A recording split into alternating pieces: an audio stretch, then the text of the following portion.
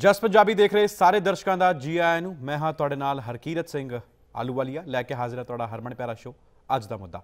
UK ਤੇ Europe ਦੇ ਵਿੱਚ ਵਸਦੇ ਸਾਰੇ ਵੀਅਰਸ ਨੂੰ ਮੇਰੀ ਤਰਫੋਂ ਪਿਆਰ ਭਰੀ ਸਤਿ ਸ੍ਰੀ ਅਕਾਲ। ਦੋਸਤੋ, ਦੂਜੇ ਰਜਵੀਆਂ ਦੇ ਕਾਰਨ ਅੱਜ ਪ੍ਰੋਗਰਾਮ ਦੀ ਸ਼ੁਰੂਆਤ ਥੋੜੀ ਜਿਹੀ ਲੇਟ ਹੋਈ ਹੈ, ਲੇਕਿਨ ਅਸੀਂ ਲੈ ਕੇ ਆਏ ਹਾਂ ਤੁਹਾਡਾ ਖੁਦ ਦਾ ਆਪਣਾ ਸ਼ੋ ਅੱਜ ਦਾ ਮੁੱਦਾ। ਲੇਕਿਨ ਕੋਸ਼ਿਸ਼ ਸਾਡੀ ਰਹਿੰਦੀ ਹੈ ਕਿ ਉਹਨਾਂ ਮਸਲਿਆਂ ਦੇ ਉੱਤੇ, ਉਹਨਾਂ ਮੁੱਦਿਆਂ ਦੇ ਉੱਤੇ ਅਸੀਂ ਵਿਚਾਰ ਵਟਾਂਦਰਾ ਕਰ ਸਕੀਏ ਔਰ ਤੁਹਾਡੇ ਨਾਲ ਜੁੜ ਕੇ ਅਸੀਂ ਉਸ ਸਮੱਸਿਆ ਦਾ ਸਮਾਧਾਨ ਕੱਢ ਸਕੀਏ, ਜੋ ਕਿ ਤੁਸੀਂ ਬਖੂਬੀ ਆਪਣੇ ਅੰਦਾਜ਼ ਦੇ ਨਾਲ, ਆਪਣੇ ਤਰੀਕੇ ਦੇ ਨਾਲ, ਆਪਣੇ ਵਿਚਾਰਾਂ ਦੇ ਨਾਲ ਤੁਸੀਂ ਸਾਨੂੰ ਸਹਿਯੋਗ ਕਰਦੇ ਹੋ। ਸਾਨੂੰ ਬਹੁਤ ਅੱਛਾ ਲੱਗਦਾ, ਬਹੁਤ ਵਧੀਆ ਲੱਗਦਾ ਕਿ ਜਦ ਅਸੀਂ ਰਲ ਕੇ ਕਿਸੇ ਮਸਲਿਆਂ ਦੇ ਉੱਤੇ ਗੱਲ ਕਰਦੇ ਹਾਂ ਤਾਂ ਉਹ ਮਸਲੇ, ਮੁੱਦੇ ਕਿੱਥੇ ਨਾ ਕਿੱਥੇ ਉਹਨੂੰ ਅਸੀਂ ਕੋਸ਼ਿਸ਼ ਕਰਦੇ ਹਾਂ ਕਿ ਇਹਦਾ ਇਸ ਪ੍ਰੋਬਲਮ ਤੋਂ, ਇਹਨਾਂ ਮੁਸ਼ਕਿਲਾਂ ਤੋਂ ਅਸੀਂ ਕਿਵੇਂ ਨਿਕਲ ਸਕਦੇ ਹਾਂ? ਯਾਨੀ ਕਿ ਇਹਦਾ ਸਮਾਧਾਨ ਕੀ ਹੈ? ਔਰ ਉਹਦੇ ਲਈ ਤੁਸੀਂ ਮੈਨੂੰ ਕਾਲ ਕਰਦੇ ਹੋ ਹੇਠ ਲਿਖੇ ਨੰਬਰ ਤੇ ਉੱਤੇ, ਔਰ ਆਪਣੇ ਫੀਡਬੈਕਸ ਔਰ ਸੁਜੈਸ਼ਨਸ ਮੈਨੂੰ ਰੋਜ਼ਾਨਾ ਦਿੰਦੇ ਹੋ। ਕੋਸ਼ਿਸ਼ ਰਹਿੰਦੀ ਹੈ ਕਿ ਉਹਨਾਂ ਮਸਲਿਆਂ ਦੇ ਉੱਤੇ ਵਿਚਾਰ ਕਰੀਏ। ਜਾਂ ਜਾਂ ਉਹ ਧਾਰਮਿਕ ਹੋਣ, ਜਾਂ ਉਹ ਰਾਜਨੀਤਿਕ ਹੋਣ, ਚਾਹੇ ਉਹ ਕਿਸੇ ਸਿਆਸਤਦਾਨ ਸਿਆਸਤਦਾਨ ਨਾਲ ਜੁੜੇ ਹੋਣ, ਜਾਂ ਫਿਰ ਕਿਸੇ ਸਿਆਸੀ ਪਾਰਟੀ ਦੇ ਹੋਣ ਜਾਂ ਫਿਰ ਉਹ ਮੁੱਦੇ ਹੋਣ ਜੋ ਕਿ ਸੋਸ਼ਲ ਮੀਡੀਆ ਦੇ ਉੱਤੇ ਅਫਵਾਹਾਂ ਦਾ ਬਾਜ਼ਾਰ ਜਿਹੜਾ ਉਹ ਗਰਮ ਕਰ ਰਹੀਆਂ ਕਦੀ ਕਵਾਰ ਕਈ ਖਬਰਾਂ ਦੋਸਤੋ ਅਫਵਾਹਾਂ ਬਣ ਜਾਂਦੀਆਂ ਹਨ, ਲੇਕਿਨ ਅਸਲੀ ਖਬਰ ਤੁਹਾਡੇ ਸਾਹਮਣੇ ਨਹੀਂ ਪਹੁੰਚਦੀ ਔਰ ਜਦ ਨਹੀਂ ਪਹੁੰਚਦੀ ਤਾਂ ਫਿਰ ਸਾਡੀ ਜ਼ਿੰਮੇਵਾਰੀ ਬਣ ਜਾਂਦੀ ਹੈ। ਮੀਡੀਆ ਹਾਊਸਸ ਦੀ ਜ਼ਿੰਮੇਵਾਰੀ ਬਣ ਜਾਂਦੀ ਕਿ ਤੁਹਾਡੇ ਸਾਹਮਣੇ ਨਿਰਪੱਖ ਖਬਰ ਨੂੰ ਲੈ ਕੇ ਆਇਆ ਜਾਵੇ। ਲੇਕਿਨ ਬੜੇ ਅਫਸੋਸ ਦੇ ਨਾਲ ਮੈਨੂੰ ਕਹਿਣਾ ਪੈਂਦਾ ਕਿ ਕਈ ਮੀਡੀਆ ਹਾਊਸਸ ਆਪਣੀ ਜ਼ਿੰਮੇਵਾਰੀ ਨੂੰ ਨਾ ਸਮਝ ਕੇ ਇੱਕ ਤਰਫਾ ਬਿਆਨ ਸੁਣਾਉਂਦੀਆਂ ਹਨ। ਅਸੀਂ ਕਿਸੇ ਵੀ ਮੀਡੀਆ ਹਾਊਸ ਦਾ ਨਾਂ ਨਹੀਂ ਲਵਾਂਗੇ, ਲੇਕਿਨ ਜਨਤਾ ਹੈ, ਇਹ ਸਭ ਜਾਣਦੀ ਹੈ। ਉਹਨੂੰ ਸਭ ਪਤਾ ਹੈ, ਤੁਹਾਨੂੰ ਸਭ ਪਤਾ ਹੈ ਕਿ ਕੀ ਹੋ ਰਿਹਾ, ਕੀ ਨਹੀਂ ਹੋ ਰਿਹਾ, ਲੇਕਿਨ ਕਦੀ ਕਵਾਰ ਅਸੀਂ ਇੱਕ ਖਬਰ ਨੂੰ ਹੀ ਪੜ੍ਹ ਕੇ ਉਹਨੂੰ ਅਸੀਂ ਆਪਣੀ ਜ਼ਿੰਦਗੀ ਦੇ ਵਿੱਚ ਜਾਂ ਫਿਰ ਆਪਣੀ ਨਿੱਜੀ ਜ਼ਿੰਦਗੀ ਦੇ ਵਿੱਚ ਉਹਨੂੰ ਮੰਨ ਲੈਂਦੇ ਆ ਕਿ ਹਾਂ, ਵਾਕਈ ਇਹ ਹੋਇਆ ਹੋਏਗਾ। ਲੇਕਿਨ ਅੱਜ ਜਿਹੜਾ ਇਹ ਵਰਲਡ ਇਹਨਾਂ ਮੈਟੀਰੀਅਲਿਸਟਿਕ ਹੋ ਰਿਹਾ ਹੈ, ਇਸ ਵਿਸ਼ਵ ਦੇ ਵਿੱਚ ਸੋਸ਼ਲ ਮੀਡੀਆ ਨੇ ਜਿਸ ਤਰੀਕੇ ਨਾਲ ਆਪਣਾ, ਆਪਣੀ ਜਗ੍ਹਾ ਬਣਾਈ ਹੈ, ਜੋ ਵੀ ਸੋਸ਼ਲ ਮੀਡੀਆ ਦੇ ਉੱਤੇ ਚਲਾਇਆ ਜਾਂਦਾ ਉਹਨੂੰ ਅਸੀਂ ਥੋੜੀ ਦੇਰ ਲਈ ਸੱਚ ਮੰਨ ਲੈਂਦੇ ਆ ਜੋ ਵੀ ਅਖਬਾਰ ਨੇ ਲਿਖਤਾ, ਉਹ ਵੀ ਅਸੀਂ ਮੰਨ ਲੈਂਦੇ ਕਿ ਹਾਂ, ਵਾਕਿਆ ਹੋਇਆ ਹੋਏਗਾ। ਲੇਕਿਨ ਕਈ ਮੀਡੀਆ ਹਾਊਸਸ ਅਜੇ ਵੀ ਹਨ ਜੋ ਕਿ ਖਬਰ ਨੂੰ ਆਥੈਂਟੀਕੇਟ ਕਰਦੇ ਹਨ ਰਿਸਰਚ ਕਰਦੇ ਹਨ, ਉਸ ਤੋਂ ਬਾਅਦ ਤੁਹਾਡੇ ਸਾਹਮਣੇ ਲੈ ਕੇ ਆਉਂਦੇ ਹਨ। ਅੱਜ ਜਿਸ ਮੁੱਦੇ ਦੇ ਉੱਤੇ ਅਸੀਂ ਗੱਲ ਕਰਾਂਗੇ, ਜਿਸ ਮਸਲੇ ਦੇ ਉੱਤੇ ਅਸੀਂ ਗੱਲ ਕਰਾਂਗੇ, ਮੈਨੂੰ ਲੱਗਦਾ ਹੈ ਸਾਡੇ ਪੰਜਾਬ ਦੇ ਵਿੱਚ ਕਿੰਨੇ ਬੁੱਧੀਜੀਵੀ ਪੈਦਾ ਹੋਏ ਹੋਣਗੇ, ਲੇਕਿਨ ਅੱਜ ਤੱਕ ਇਸ ਸਮੱਸਿਆ ਦੀ, ਇਸ ਮੁੱਦੇ ਦੀ, ਇਸ ਮਸਲੇ ਦੀ ਕੋਈ ਵੀ ਨਿਪਟਾਰਾ ਨਹੀਂ ਕਰ ਸਕਿਆ। ਮੈਨੂੰ ਬੜੇ ਹੈਰਾਨ, ਹੈਰਾਨੀ ਹੁੰਦੀ ਹੈ ਕਿ ਜਦ ਮੈਂ ਕਿਸੇ ਬੁੱਧੀਜੀਵੀ ਨਾਲ ਇਸ ਮੁਤਲਕ ਗੱਲ ਕਰਦਾ, ਲੇਕਿਨ ਕਿਸੇ ਦੇ ਕੋਲ ਵੀ ਕੋਈ ਸਮਾਧਾਨ ਨਹੀਂ ਹੈ। ਸਮੇਂ-ਸਮੇਂ ਦੀਆਂ ਸਰਕਾਰਾਂ ਬਦਲ ਗਈਆਂ, ਸਮੇਂ-ਸਮੇਂ ਦੇ ਸਿਆਸਤਦਾਨ ਬਦਲ ਗਏ, ਸਮੇਂ-ਸਮੇਂ ਦੇ ਸਿੱਖ ਲੀਡਰ ਬਦਲ ਗਏ, ਸਮੇਂ-ਸਮੇਂ ਦੀ ਗਵਰਨਮੈਂਟ ਬਦਲ ਗਈਆਂ, ਸਮੇਂ-ਸਮੇਂ ਦੀਆਂ ਪਾਰਟੀਆਂ ਬਦਲ ਗਈਆਂ, ਸਮੇਂ-ਸਮੇਂ ਦੇ ਐਡਮਿਨਿਸਟ੍ਰੇਟਰਸ ਬਦਲ ਗਏ, ਸਮੇਂ-ਸਮੇਂ ਦੇ ਬਿਊਰੋਕਰੈਟਸ ਬਦਲ ਗਏ, ਸਮੇਂ-ਸਮੇਂ ਦੇ ਆਫੀਸਰਸ ਬਦਲ ਗਏ। ਸਮੇਂ-ਸਮੇਂ ਦੇ ਲੋਕ ਬਦਲ ਗਏ ਲੇਕਿਨ ਨਹੀਂ ਬਦਲੇ ਤੇ ਅੱਜ ਪੰਜਾਬ ਦੇ ਇਸ ਮੁੱਦੇ ਦੇ ਹਾਲਾਤ।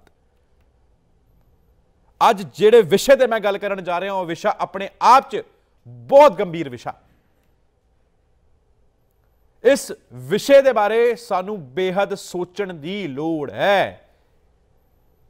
ਅੱਜ ਜਿਨ੍ਹਾਂ ਗੱਲਾਂ ਦਾ ਅਸੀਂ ਤੁਹਾਡੇ ਸਾਹਮਣੇ ਖੁਲਾਸਾ ਕਰਾਂਗੇ, ਤੁਹਾਨੂੰ ਸੁਣ ਕੇ ਹੈਰਾਨੀ ਹੋਏਗੀ ਕਿ ਵਾਕਈ ਇਹ ਵੀ ਹੁੰਦਾ।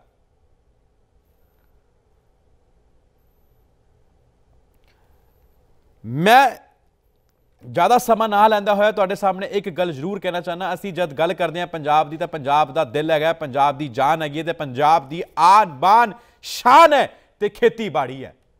ਤੇ ਸਾਡਾ ਕਿਸਾਨ ਹੈ ਤੇ ਕਿਸਾਨੀ ਹੈ। ਉਸ ਤੋਂ ਵੱਡਾ ਮੁੱਦਾ, ਉਸ ਤੋਂ ਵੱਡਾ ਮਸਲਾ ਮੈਨੂੰ ਨਹੀਂ ਲੱਗਦਾ ਕੋਈ ਹੋ ਸਕਦਾ।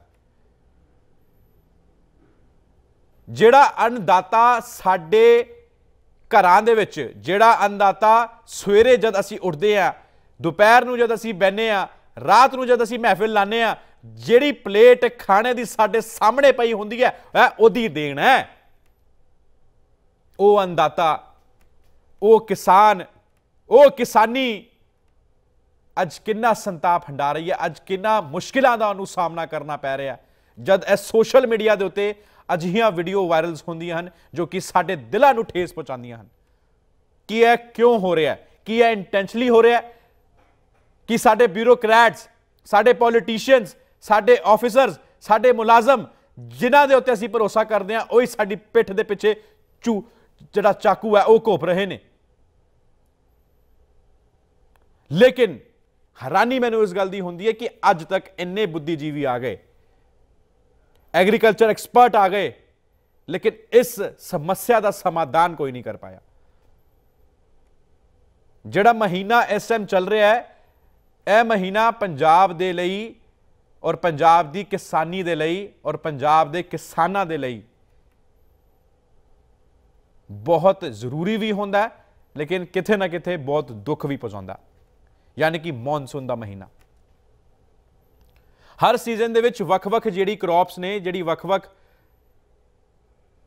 ਫਸਲਾਂ ਨੇ, ਉਹਨਾਂ ਨੂੰ ਉਗਾਇਆ ਜਾਂਦਾ ਤੇ ਉਹਨਾਂ ਨੂੰ ਵੇਚਿਆ ਜਾਂਦਾ। ਮੈਂ ਜੇ ਕਣਕ ਦੀ ਗੱਲ ਕਰਾਂ, ਤਾਂ ਕਣਕ ਜਾਂ ਫਿਰ ਮੈਂ ਰਾਈਸ ਦੀ ਗੱਲ ਕਰਾਂ ਜਾਂ ਮੈਂ ਚੌਲਾਂ ਦੀ ਗੱਲ ਕਰਾਂ, ਚਾਹੇ ਮੈਂ ਜਿਹੜੀਆਂ ਹੋਰ ਕ੍ਰੌਪਸ ਹੈਗੀਆਂ, ਉਹਨਾਂ ਦੀ ਗੱਲ ਕਰਾਂ ਹਰ ਕਿਸੇ ਦਾ ਵੱਖ-ਵੱਖ ਸੀਜ਼ਨ ਹੁੰਦਾ ਔਰ ਉਹਦੇ ਲਈ ਸਟੋਰੇਜ ਵੀ ਬਹੁਤ ਜ਼ਰੂਰੀ ਹੁੰਦਾ ਲੇਕਿਨ ਅੱਜ ਜਿਹੜਾ ਖੁਲਾਸਾ ਅਸੀਂ ਤੁਹਾਡੇ ਸਾਹਮਣੇ ਕਰਾਂਗੇ, ਉਹ ਖੁਲਾਸੇ ਦੇ ਨਾਲ ਤੁਸੀਂ ਕਾਫੀ ਹੈਰਾਨ ਹੋ ਜਾਓਗੇ ਕਿ ਆਖਿਰਕਾਰ ਸਟੋਰੇਜ ਦੀ ਸਮੱਸਿਆ ਤਾਂ ਪੰਜਾਬ ਦੇ ਵਿੱਚ ਬਹੁਤ ਬਹੁਤ ਪਹਿਲਾਂ ਤੋਂ ਚੱਲਦੀ ਆ ਰਹੀ ਹੈ, ਲੇਕਿਨ ਇਹਦੇ ਪਿੱਛੇ ਇੰਟੈਂਸ਼ਨਲੀ ਕੀ ਹੋ ਰਿਹਾ? ਇਹਦੇ ਪਿੱਛੇ ਜਾਣ ਬੁੱਝ ਕੇ ਕੀ ਕੀਤਾ ਜਾ ਰਿਹਾ? ਅੱਜ ਤੁਹਾਨੂੰ ਮੁੱਦੇ ਦੇ ਵਿੱਚ ਅਸੀਂ ਦੱਸਾਂਗੇ। ਔਰ ਮੈਂ ਜਰੂਰ ਤੁਹਾਡੀ ਕਾਲਸ ਵੀ ਲਾਵਾਂਗਾ। ਮੈਂ ਵੇਖ ਪਾ ਰਿਹਾ, ਤੁਸੀਂ ਮੈਨੂੰ ਕਾਲਸ ਕਰਨੀ ਸ਼ੁਰੂ ਕਰ ਦਿੱਤੀਆਂ ਹਨ, ਲੇਕਿਨ ਮੈਂ ਤੁਹਾਨੂੰ ਜਰੂਰ ਦੱਸਣਾ ਚਾਹਨਾ ਕਿ ਅੱਜ ਅਸੀਂ ਜਿਹੜਾ ਮੁੱਦਾ ਉਹ ਕਿਸ ਮੁਤਲਕ ਕਰ ਰਹੇ ਹਾਂ। ਮੈਂ ਕਿਹੜੇ-ਕਿਹੜੇ ਸਵਾਲ ਪੁੱਛ ਰਿਹਾ ਔਰ ਮੈਂ ਚਾਹਾਂਗਾ ਜਿਹੜੇ ਐਗਰੀਕਲਚਰ ਐਕਸਪਰਟ ਔਰ ਜਿਹੜੇ ਖੇਤੀਬਾੜੀ ਨਾਲ ਜੁੜੇ ਨੇ ਅੱਜ ਮੈਨੂੰ ਜਰੂਰ ਕਾਲ ਕਰਨ, ਆਪਣੀ ਜਾਣਕਾਰੀ ਔਰ ਆਪਣੇ ਸੁਝਾਅ ਜਰੂਰ ਦੇਣ।